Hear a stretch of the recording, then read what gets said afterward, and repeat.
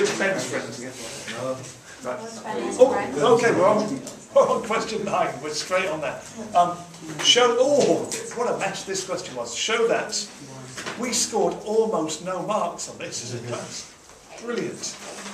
Um, show that sine, oh, it's not even working. Sine 2 theta tan theta plus cot theta is equal to 2. Now remember, remember,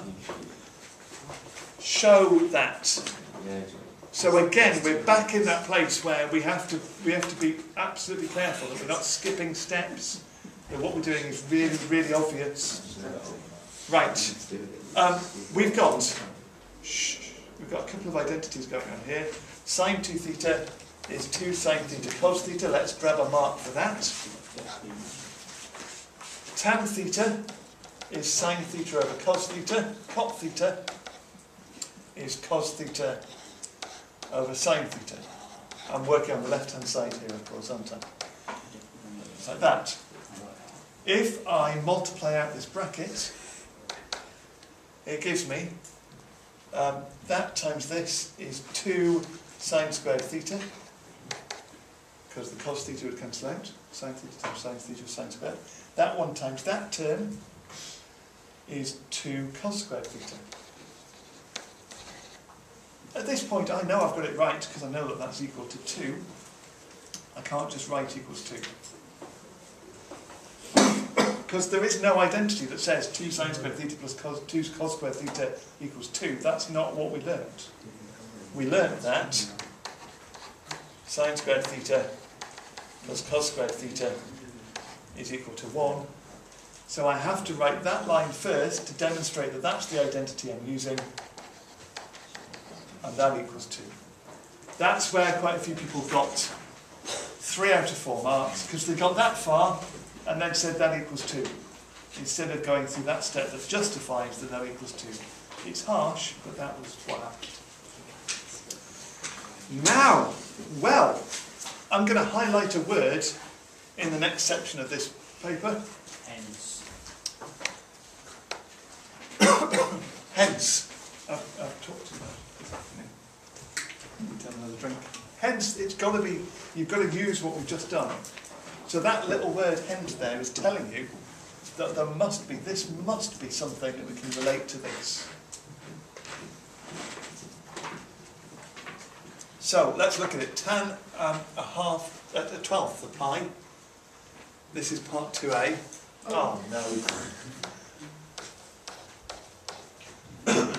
tan pi by 12 is, oh, I can't remember what it said. Plus tan pi by 8 plus cot pi by 12 plus cot pi by 8. Right. Well, can we, can we see a link with what we started with? Well, yeah, I hope so. Look, we've got tan theta plus cot theta. That's what we've got to go on. That identity says that tan theta plus cot theta is 2 over sine 2 theta. Right. Tan theta plus cot theta is 2 over sine 2 theta from part 1. And here we have tan pi by 12 plus cot pi by 12 added to tan pi by 8 plus cot pi by 8. Using part 1, hence, this is 2 over sine pi by 6. And this is 2 over sine pi by 4.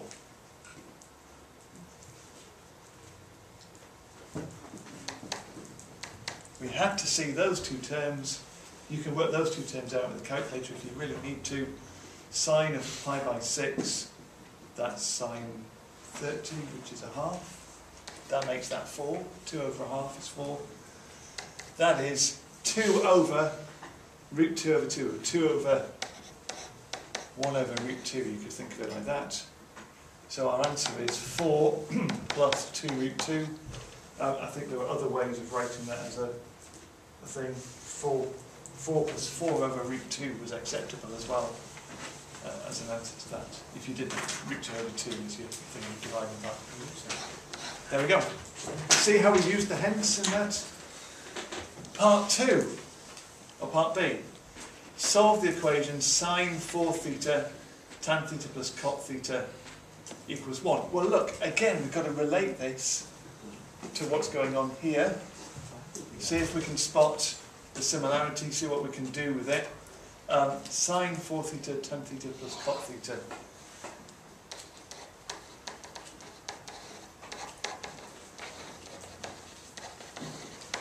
equals 1. And we're doing it in values of theta from 0 to pi by 2.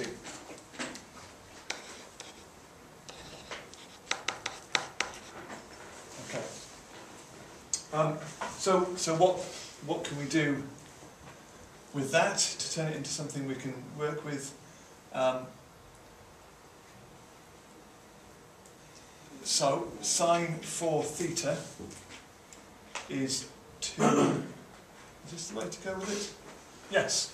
Sine 4 theta would be 2 sine 2 theta cos 2 theta.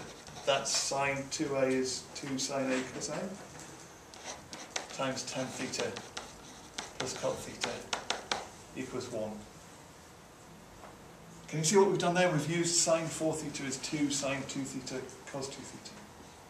Now, forget about the cos 2 theta for a moment. We've got sine 2 theta times tan theta plus cos theta. Sine 2 theta times tan theta plus cot theta there. That bit, that times that is equal to 2. So altogether this is 2 times 2 cos 2 theta is equal to 1. And we just go straight to that line. That's horribly simple, isn't it, to get to that? Joe, that you shake you shook your head there. Is that? Do you see where that's come from, or is it? Yeah, well, Yeah. it's just difficult. Where's the bar come from? The four is because. Hang on, I maybe want to write another line here because I. Can you see what we've got? We've got two cos two theta times sine two theta tan theta plus cot theta is equal to one. You see that bit that's bracketed there is worth two from part one of the question. So that's two times two cos two theta. Leaving us with cos two theta is a quarter. Inverse cos of a quarter. Remembering that we're in radians is 1.2 theta is 1.318 and thinking about I I don't whether you want to do cast diagram or not if we're doing theta between 0 and pi by 2 that means 2 theta has got to be between 0 and pi so do we get any other values between 0 and pi well we don't do we because it's it's cos and the other value We've got one value there, the other value will be down there. It's not between 0 and pi. So divide that by 2, and that's the only answer we're interested in, 0.659 as our value of theta. There it is, and we've just got time, we've just got time to do the final part. Express that unpleasant looking thing in terms of sine theta. I'm going to write it on the next page. 1 minus cos 2 theta squared tan a half theta plus cot a half theta cubed in terms of sine theta. Right, well, what can we do with our identities to help us, bearing in mind that we'd quite like to get to this, to have something to do with sine times this, sine theta times this would be lovely, because we could work with that. Um, cos 2 theta, thinking about wanting it in terms of sine, cos 2 theta is cos squared minus sine squared, which is 1 minus sine squared minus sine squared. I don't know why I'm writing all theta out. So it's 1 minus 2 sine squared theta, isn't it? That's, that's our identity from our trig identities that we have learnt. So that becomes 1 minus 1 minus 2 sine squared theta all squared times tan a half theta plus cot a half theta cubed. Um, inside that bracket, we've got 1 minus 1,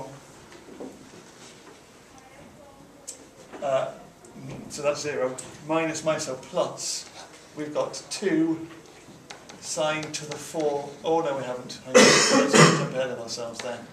We've got 2 sine squared theta squared times tan a half theta plus cot a half theta cubed. Are you happy with that? That's 1 minus 1 is 0, minus minus 2 gives us the plus 2. This is 4 sine to the 4 theta times tan a half theta plus cot a half theta cubed.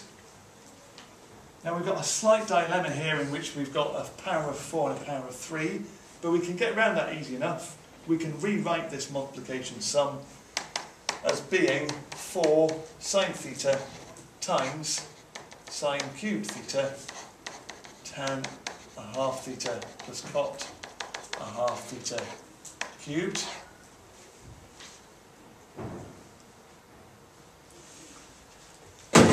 Oops. And that bit, that bit in there, is just part one cubed.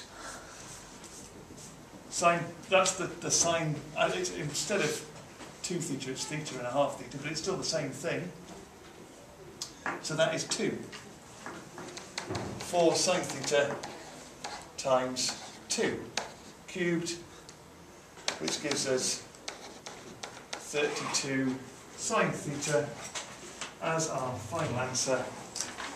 Um, interestingly, that's not the way that it does it on the mark scheme, that's the way that I've just done it now. So, still, it's fun. And that's maths.